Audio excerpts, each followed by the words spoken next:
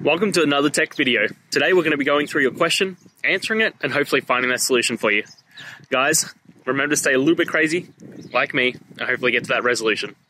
Now, let's continue on to that video.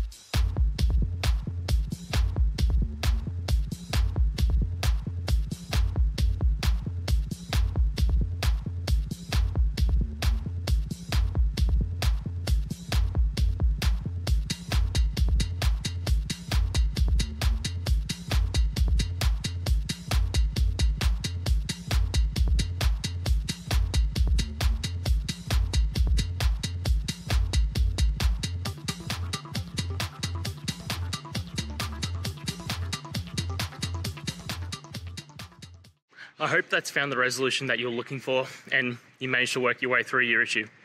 Please, if it did help, hit subscribe. I'd really appreciate it.